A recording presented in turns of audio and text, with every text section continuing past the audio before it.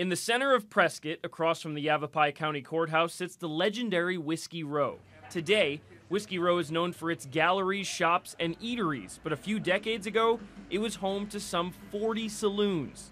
Listed on the National Historic Register, it was a frontier saloon before Arizona became a state in 1912.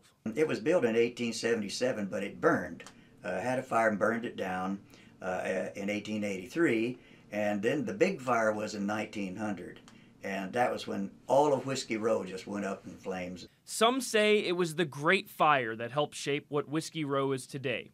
Once you step into the saloon's swinging doors, you step back in time. The palace is decorated with nostalgia of a bygone era.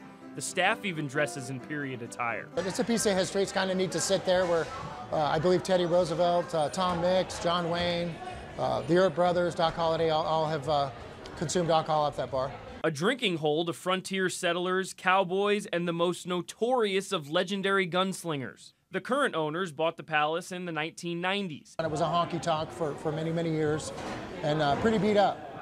So we did all the floors, uh, changed it around to the restaurant. Obviously, we didn't touch the bar aside from restoring it.